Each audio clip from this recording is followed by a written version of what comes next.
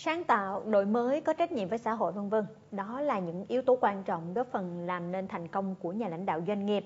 Các chuyên gia cho rằng để có một thế hệ doanh nhân hội đủ những yếu tố này cần phải tạo chuẩn cho doanh nhân trẻ ngay từ những ngày đầu khởi nghiệp. Tại buổi lễ khai giảng khóa đào tạo thứ ba của chương trình hạt giống lãnh đạo IBL diễn ra vào cuối tuần qua, các chuyên gia cho rằng ba yếu tố quan trọng tạo nên một nhà lãnh đạo doanh nghiệp là tri thức, sáng tạo và phẩm chất tốt. Thay vì để cho thế hệ doanh nhân trẻ thử và sai, các chuyên gia cho rằng cần phải trang bị cho doanh nhân trẻ những yếu tố này ngay từ những bước đầu khởi nghiệp, đặc biệt là trang bị tri thức. Trong thế giới của chúng ta thì tri thức là quan trọng, hiểu biết là quan trọng. Bởi vì chúng ta sống trong một thế giới toàn cầu hóa, sống trong một thế giới mà khoa học công nghệ là có ý nghĩa quyết định.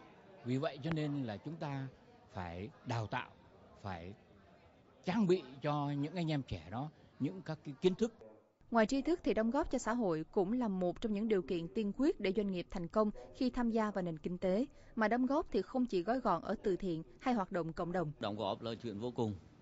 Anh có thể đóng góp ý tưởng và từ ý tưởng đó nó khai sáng cả một ngành kinh tế thì cái đóng góp đó khó đo đếm.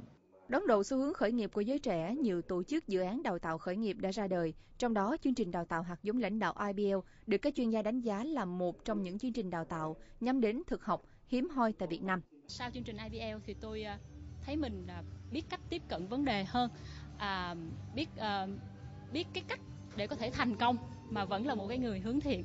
Với ba thế hệ học viên, hiện IBL đã có 14.000 thành viên tham gia vào cộng đồng.